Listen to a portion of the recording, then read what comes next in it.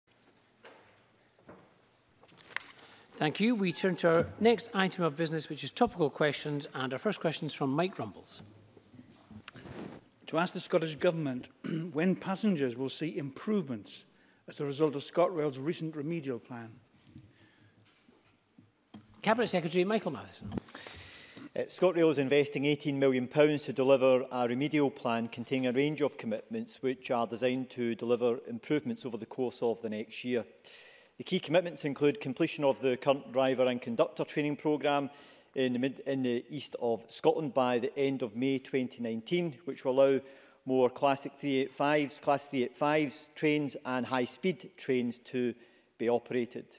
Recruitment of an additional 30 conductors uh, made available to operate services by July 2019 and recruitment of an additional 55 drivers made available to operate services by May 2020. I expect to see ScotRail delivering sustained improvements through delivery of these contracted commitments. Uh, that needs to happen now for ScotRail to ensure customers see improved reliability, fewer cancellations and more seats on the most badly affected routes. Mike Rumbles. Well, since the start of the ScotRail franchise, we've had three improvement or remedial plans. Three years ago, the Scottish Government published an improvement plan with 249 action points. Last year, we had another improvement plan with its 20 measures for improving performance, and today we have a remedial plan with another nine initiatives, three plans in three years under two cabinet secretaries. And meanwhile, we've got more cancelled trains in the northeast, trains starting their journeys from Haymarket when they should start from Waverley.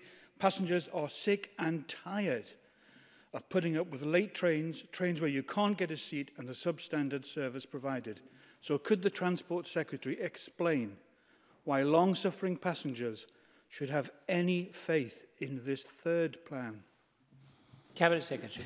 Uh, Officer, the uh, member is correct to say there have been previous improvement plans, um, uh, which is somewhat different to the remedial plan which is set out here, which is specifically to address issues. A remedial plan is specifically to address the issues relating to where ScotRail are in breach of the franchise agreement and to take very specific measures to address that breach in order to get out of breach. Uh, and that's what the uh, actions set out in the remedial plan are intended to do. Uh, the member will also recognise that one of the uh, issues that came from the uh, improvement plan uh, was the Donovan Review, uh, which set out a range of actions that ScotRail had to take forward in order to uh, improve its uh, services and reliability across the network. Uh, the member uh, will also recall that the ORR uh, published an updated report on progress that ScotRail were making in taking those recommendations forward and highlighted that they were making good progress across a range of those recommendations, although there were still areas where further work had to be undertaken. Now, in some of the areas where work has been completed uh, under the Donovan Review, which is a wider improvement across the whole of rail network, we have saw improvements, particularly in the Strathclyde electric area. However, That doesn't address the concerns and issues that those who are experiencing disruption on the east of the country have experienced due to cancellations, largely due to uh, a lack of uh, trained uh, crew. And that's exactly one of the issues that will be addressed through this remedial plan in order to address that matter, given that ScotRail are now in breach of the contract as a result of uh, the levels of cancellations. So I do expect the remedial plan to address these issues and what they've set out in it will address these issues on the east of Scotland, uh, but the wider Donovan Review work about improving the network overall is making good progress, as was highlighted by the report from the ORR uh, late last year. Mike Grumbles. Well, Minister, I represent people in the North East and their, their service has deteriorated and these plans haven't worked. So the remedial plan says the company's performance is unlikely, unlikely to reach acceptable levels until May 2020. This is one month after the government can take action to terminate the contract. Will the government take action to terminate the contract if performance levels continue to be breached by April next year? Cabinet Secretary. Epstein officer, uh, the reason that the time frame is to May 2020 is because it takes around a year for the, uh, for the calculation of the figures to work through the system by the very nature of how these franchises operate. Uh, franchises which I frankly no longer believe are fit for purpose uh, and serve the travelling public well, but by their very nature, uh, it takes a year for those figures to get out of the system. That's why the time frame is until May 2020 for them to be able to deliver that. Alongside that, it takes over a year to train, uh, train uh, drivers.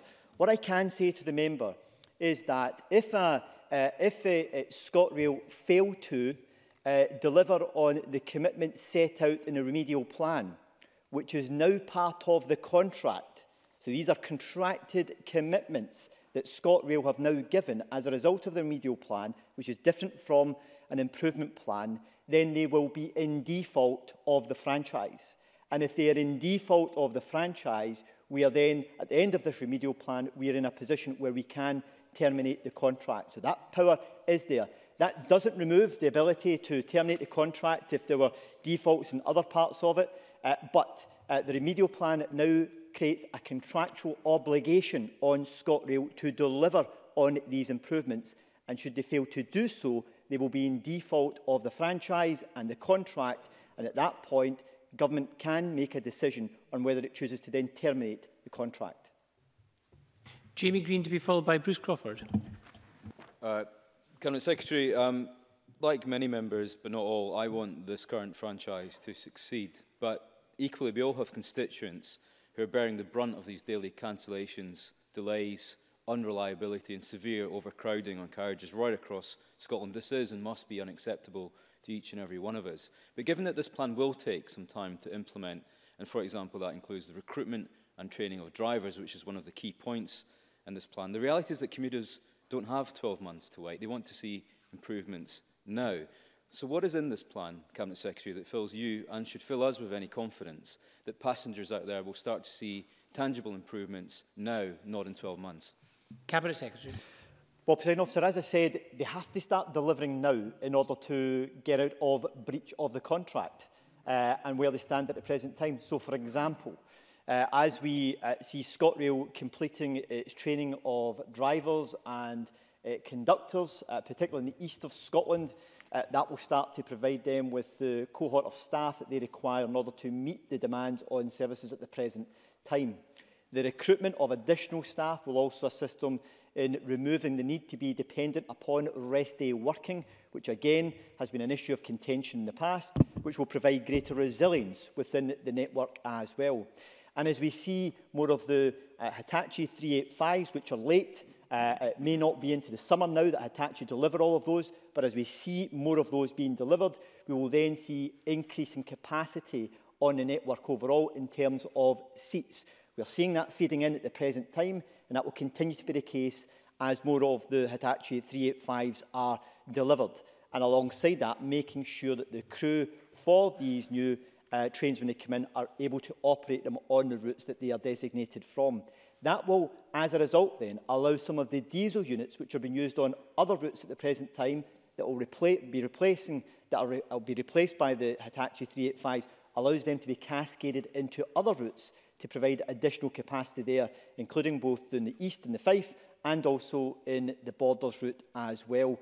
Alongside that, once more of the high-speed trains uh, are introduced as well that again will increase capacity on the network. Again, that's been delayed because of WabTech's failure to deliver on it. However, no, are not excuses, that's just a reality of where we are.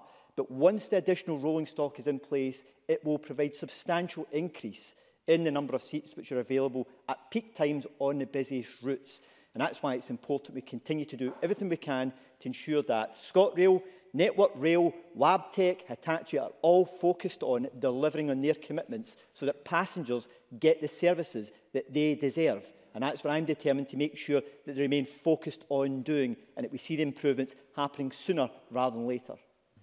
Bruce Crawford, followed by Colin Smith. Thank you, President Officer. I can also thank the Cabinet Secretaries for useful answers to the, the questions. But about half of my Stirling constituents, I'll be the first to say that the performance of Network Rail has simply not been good enough, a matter I've written to the Cabinet Secretary about.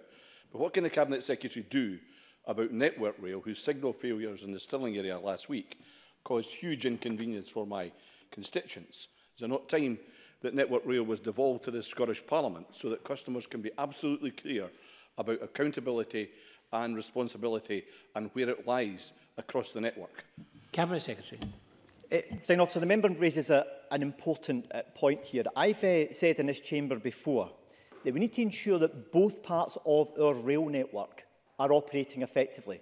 That's ScotRail and the rolling stock provider and the services to passengers and Network Rail in the services that they provide in supporting infrastructure. Just last week we saw, for example, in Haymarket, a repeated failure in a piece of infrastructure that caused massive inconvenience to travellers across the east of Scotland, which then rippled into the west of Scotland, a piece of infrastructure that had already failed earlier that week, failing yet again.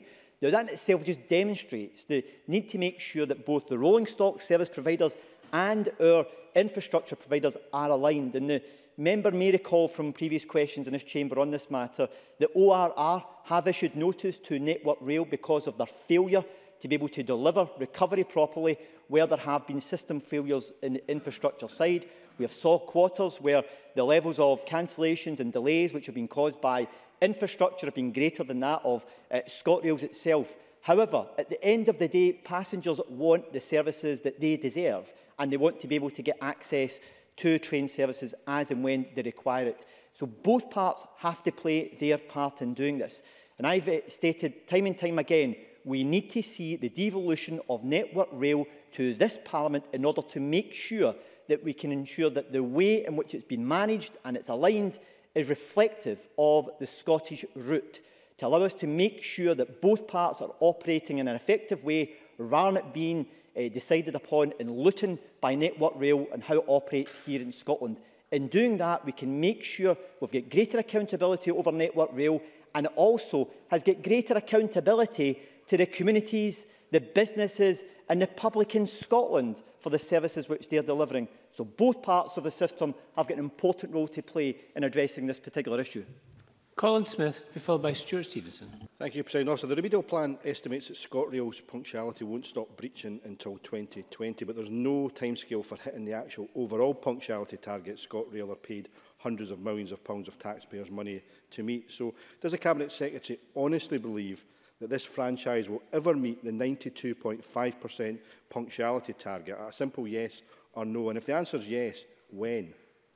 Cabinet Secretary. Uh, Sign officer, the remedial plan is not intended in order to achieve that particular target. That's the role of the wider uh, Donovan Review. Uh, ScotRail's forecast for achieving the 92.5% is by the end of reporting period 13 in 2020-2021, and they believe that they are on track in order to achieve that. Stuart Stevenson. Um, I uh, draw members' attention to my register of interest. Uh, can the Cabinet Secretary give an indication of how long the Scottish Government will be accepting applications for the Local Rail Development Fund so that the benefits of our improved railway system can reach even more communities such as Ellen in the northeast of Scotland? Cabinet Secretary. Uh, Officer, I'm aware of the interest in Ellen and the, the, uh, the uh, Local Rail Development Fund was a £2 million fund, which was originally uh, issued in February 2018 to provide funding to allow communities to appraise and potentially bring forward proposals aimed at tackling local rail connectivity issues. Uh, there were 10 organisations that were successful in securing some uh, point, uh, uh million pounds from that particular fund. Uh, given the significance of the interest uh, that was reflected in the application process, uh, we reissued uh, another opportunity for communities to bid for the remaining £1.3 million pounds on the 28th of February this year. I would encourage all members who have an interest within their constituency or within their regions that those who are seeking to apply uh, to this fund is information is available on Transport Scotland's website uh, and applications should be completed and returned by the 28th of June this year. Thank you. Question number two, Rhoda Grant to ask the Scottish Government, in light of the recent BBC investigation, what action it has taken regarding its dealings with natural retreats and the Cairngorm Mountain Limited. Cabinet Secretary Fergus Ewing. Uh, Presiding officer, this is an extremely disappointing situation and it's important that we understand what has happened with regard to public funds. Uh, I've asked Highlands Lands Enterprise, the accountable agency for Cairngorm, for a full account of the situation, I will be meeting with them to establish what more, if anything, can be done. Snow sports are an important part of our rural economy, and through our enterprise agencies, we have committed £6 million towards infrastructure projects since 2014. It's important now that we all work together to secure the future of Cairngorm to benefit the local community. Rhoda Grant. Cairngorm Mountain is crucial to the economy of Badenoch and Strathspey, and the community there have been expressing concerns for some time about the management of the mountain by natural retreats and the flow of money in and out of the Cairngorm. As this is a complicated web involving a public body, its interaction with private companies, can the Cabinet Secretary tell me what financial checks were made of both natural retreats and natural assets investments limited both before they gained the management contract and while it was running? Cabinet Secretary. Yes, Rhoda Grant is, is quite correct to say that this, uh, the, the success of, of Cairngorm Mountain is extremely important to the local economy in Badenochunstras Bay and the wider Scottish uh, small sports community. And she's also correct to say, I believe, that there have been concerns for some time amongst the local community. I'm well aware of uh, the nature of some of these, these concerns. Um, with regard to the questions that she asked, I can confirm that HIE did carry out due diligence financial checks for uh, natural, uh, uh, natural retreats. Uh, they reported that the NR turnover for the year end March 2013 prior to the procurement process was 2.8 million. HIE was also assured by two forms of security, presiding officer, an intercompany guarantee and a personal guarantee from the main shareholder in the NR family. The second question, I think, related to the process after that occurred in relation to uh, various other changes. Um, I can confirm that uh, appropriate checks were carried out at every stage and where appropriate professional advice was, I believe, sought. But I want to reassure Rhoda Grant and all other members, as I mentioned in my original answer, that uh, these are matters of concern to the public. There are matters of considerable public interest. I'm seeking a full accounting from HIE on these issues and full answers to the questions that have been raised uh, uh, by the media and by local community members and others. Rhoda Grant were Cairngorm Mountain Limited in breach of contract when they went into receivership? And if so, could Highlands and Islands Enterprise have cancelled the contract rather than had to pay the receiver to take it back into ownership? And given the community's desire to own the asset, will the Scottish Government now look at transferring it to them while ensuring that all monies owing to Highlands and Islands Enterprise and the Scottish Government are recouped from natural retreats? Cabinet Secretary. Well, if you forgive me, Presiding Officer, that is specifically a legal question, and I think it would be imprudent for me to start to give off-the-cuff legal advice. I've already said that I'm seeking a full response on all issues, but could I just say this, that HIE was faced with the decision of ensuring that uh, they took action to enable skiing to continue, if, of course, the snow conditions uh, permitted. Uh, and they took those obligations extremely seriously. They became aware that, that CML was in serious difficulty in October 2018 when a working capital loan of 1.8 million uh, was being sought, but the company was not able to provide security. The HIE staff then sought to progress a managed exit, and the aim, presiding officer, was not to end up in the courts, which could have prevented any operation at all on the Hill. The aim was to continue to enable skiing and snow sports activity to continue, if possible, and if the conditions permitted, on the hill. And that, indeed, was something that I think the vast majority of local residents were very keen to receive. So I'm not saying that a question is not appropriate, it is. It's a perfectly reasonable question. I will ensure, presiding officer, that that question, together with any others, which it would be imprudent for me uh, now to answer off the cuff, uh, will in due course be answered because we do take these matters extremely seriously. Uh, Edward Mountain to be followed by John Finney. Edward Mountain. Thank you, Presiding Officer. Uh, Cabinet Secretary, given that it'll probably take two years to get the funicular railway operational, and with the new snow factory probably in the wrong place, there is little to attract families to Kenmore Mountain. Can the Cabinet Secretary please confirm what actual cash funds are committed from today to support the mountain over the next two years? Cabinet Secretary. Well, you know, I, I, I, I was grateful that Rhoda Grant expressed her support for skiing the hill, and, and I hope Mr Mountain has a similar view. Uh, I, I'm afraid I don't accept the, the sweeping judgments that he's made there as, as, as correct. Uh, and quite honestly, it's simply impossible to answer a question about how much money is required until we know the facts. The way to carry out government is first to, to assess the facts and then decide what conclusions are relevant therefrom. Now, that's important because, as, as, as uh, the member knows, that we are due very shortly to receive the peer-reviewed assessment of COWI COWI, the structural engineers, who have been examining, as their professional expertise enables them to do, the structural state of the Cairngorm funicular and also what steps are required to deal with it. Now, until we have established what their recommendations are, until that review is peer-reviewed, it is by definition not possible to assess what action is required to remedy the defects in the funicular, far less make a budget. That is the task that we are engaging in. I'm very pleased, presiding officer, that there has been established by HIE and operated uh, a, a, a, a, a, a body locally uh, the funicular response group, which is chaired by a local councillor and has uh, a substantial membership on it, which is liaising and working practically with the grain to find a solution to all these matters.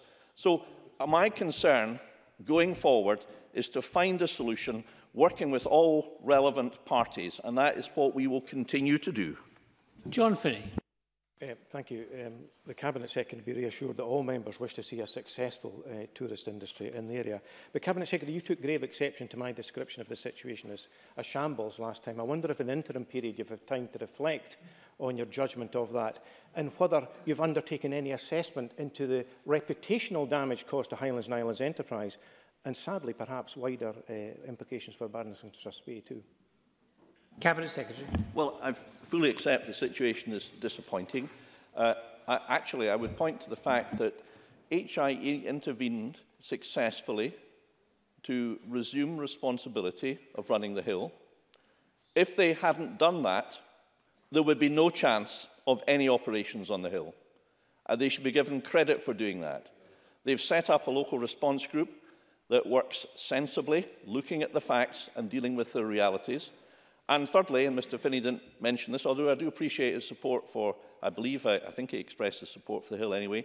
Uh, and thirdly, HIE also uh, contributed to the procurement of snowmaking equipment uh, and those operating in snow sports in the various five outdoor resorts in Scotland, most of, most of them recognised that snowmaking equipment, presiding officer, has the potential to be game-changing because it can extend the season, enable snow cover to continue when snow is relatively thin on the hill, as it has been sadly this year, uh, and therefore HIE's action last October in procuring that equipment, action which they had been working on for some considerable time, is something again that I think locally is welcomed. So the priority now is not to seek a post-mortem but rather to find a prognosis and a way ahead. And that, that is uh, where I shall be focusing my efforts whilst ensuring that answers to perfectly legitimate questions, uh, such as those raised by Mr Finney and Ms Grant uh, and any others, will be answered by HIE uh, and obviously, well, they will be answered by HIE and obviously, and I'm due to meet them, I've uh, arranged to